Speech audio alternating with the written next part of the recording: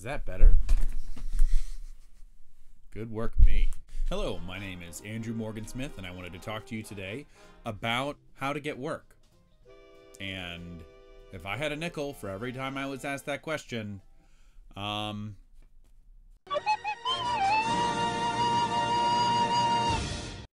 First of all, something to understand is composers are not usually going to get you work unless you're doing a support role for them. So, people you do want to get in touch with producers, directors, maybe editors, music supervisors, people who actually are making things and are looking for a composer. Something else to keep in mind these filmmakers usually don't care whether you have a college degree or you don't have a college degree or what your educational background is.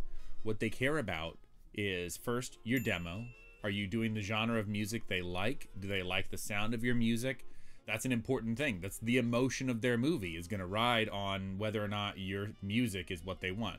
Two, have you done it before?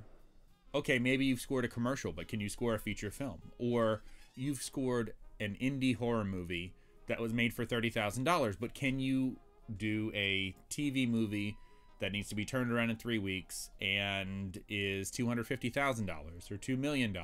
Another important thing is are you a person that they're going to be able to get along with?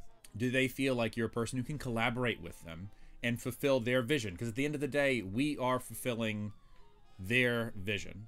And something else to think about if you're just starting out this is all a risk assessment to a filmmaker. So if you are a green composer, you've never worked on a project before, your filmmaker is risking a lot by hiring you, spending their money on you, and putting their hope and faith in you that you're going to deliver something to them. So, and you win the world.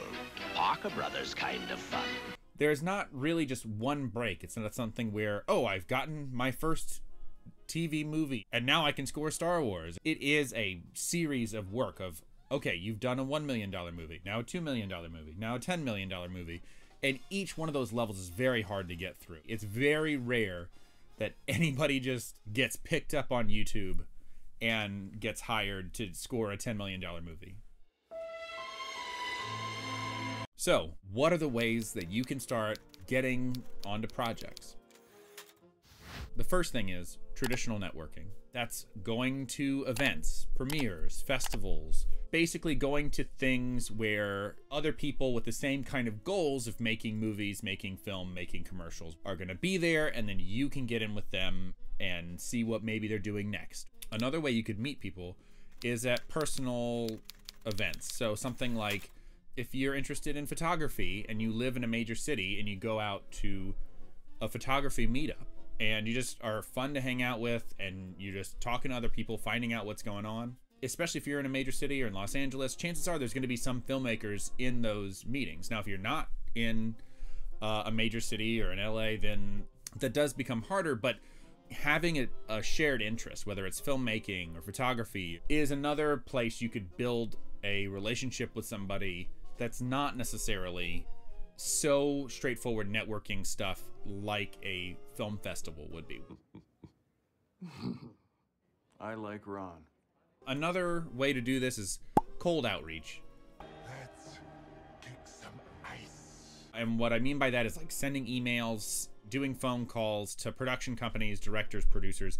The internet's a great thing. You can find email addresses for producers, directors, actors, editors pretty easily through IMDb or through Facebook, but that's all a numbers game.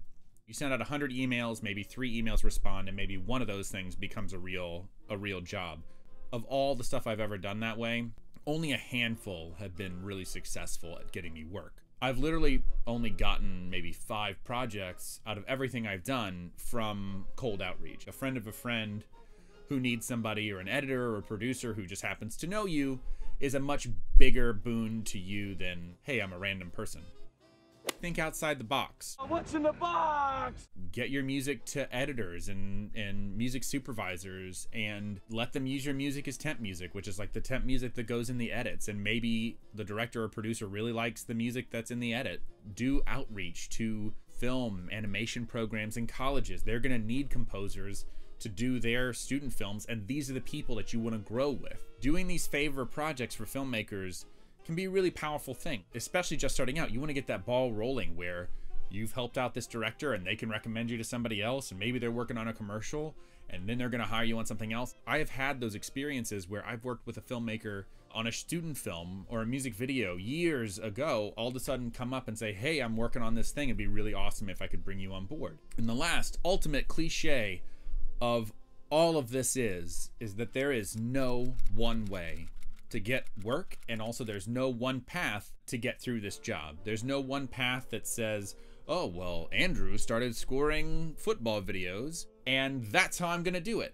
You just never know what the direction is. You just have to kind of carve your own path. And I know I hated that sentiment because whenever you're starting out, that feels like a, that feels like, well, what am I supposed to do? And the answer is there's a ton of stuff you can do. Just start writing, start reaching out to people, get moving on stuff. Obviously, some of these things you can't do in quarantine, which we're all quarantined right now. So hopefully, if you're watching this anytime in the next three months, we you won't go to events right now. But in the meantime, keep writing music, write something every day.